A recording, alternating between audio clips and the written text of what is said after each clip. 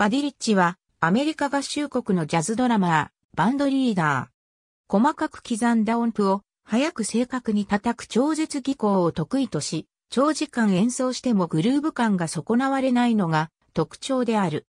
アメリカではビッグバンドジャズの新境地を開いた人物、及びビバップの誕生に協力したジャズマンとして尊敬されている。1917年9月30日、ニューヨーク州ブルックリンに生まれる。ボードビリアンであるユダヤ系アメリカ人を親に持つ。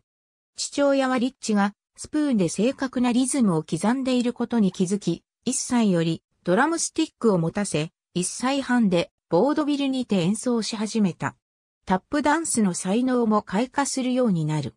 彼は譜面が読めず、ドラムの専門的な知識もなかったが、11歳でバンドリーダーとしても活動を始めた。1937年、ジョーマーサラ楽団に加入し、1940年代にかけてバニー・ベリガン、アーティショー、トミー・ドーシー等のスイングジャズバンドで活動した。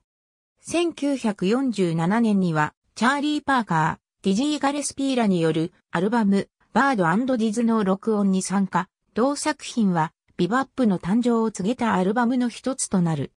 1950年代には、ハリー・ジェームス楽団、カウント・ベーシー楽団等のゲストスタードラマーとしても活動した。1959年心臓発作に見舞われ、入院、医師よりドラムを止めるように言われたが、退院後間もなくドラムを再び演奏し始めた。1966年に自楽団を結成し、以後、晩年までドラマー兼バンドリーダーとして活動。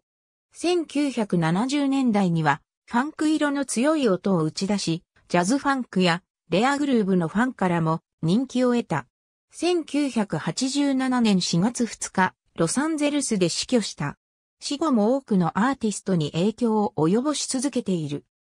1994年と1997年に発売されたトリビュートアルバム2部作には、マックス・ローチ、ビリー・コブハム、オマー・ハキム、スティーブ・スミス、ビル・ブルフォード、ニール・パート、スティーブ・ガット、サイモン・フィリップス、デーブ・ウェックル、マット・ソーラム等人気ドラマーが集結した。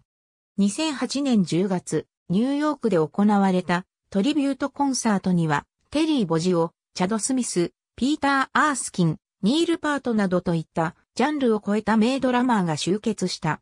2014年にアカデミー賞3部門を獲得した映画セッションではジャズドラマーを目指す主人公の青年が憧れている存在として設定されている。ありがとうございます。